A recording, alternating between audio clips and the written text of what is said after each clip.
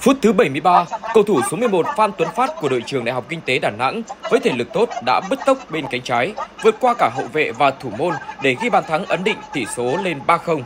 giúp đội trường Đại học Kinh tế Đà Nẵng giành chiến thắng thuyết phục trước đối thủ trường Đại học Kỹ thuật Y Dược Đà Nẵng.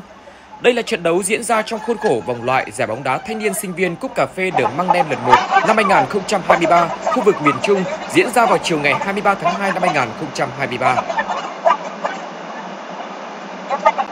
cái lợi thế của bản thân em thì là tốc độ và mọi người đều biết. Nên là những cái pha bóng như vậy thì hầu như mọi người sẽ phát triển bóng dài cho em. Bọn em hay tập như kiểu vậy. Ngày hôm nay thì cũng như được bàn đấy thì cũng rất là một trận thắng mà đậm như này thì em nghĩ là đội đã làm rất tốt rồi. Thì uh, cũng uh, trước khi trận đấu thì bọn em cũng đặt mục tiêu là sẽ chiến thắng. Cùng uh, ít nhất cũng phải hai bàn hôm nay ba bàn cũng đạt mục tiêu rồi mục tiêu như vậy thì em sẽ cố gắng để vào vòng chung kết thì em cũng uh, thi đấu uh, cống hiến và tập trung chơi bóng nhiều hơn.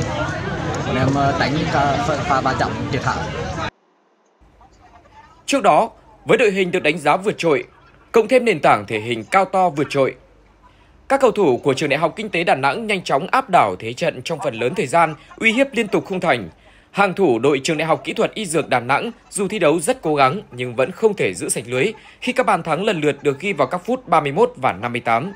Cũng trong chiều ngày 23 tháng 2, cũng tại vòng loại giải đấu, đội trường Đại học Huế đã thắng đội trường cao đẳng FPT Polytechnic Đà Nẵng với tỷ số 2-0. Ở lượt trận thứ hai của bảng B diễn ra vào ngày 26 tháng 2, đội trường Đại học Kinh tế Đà Nẵng gặp đội trường cao đẳng FPT Polytechnic Đà Nẵng, còn đội trường Đại học Kỹ thuật Y Dược Đà Nẵng đối đầu với đội trường Đại học Huế.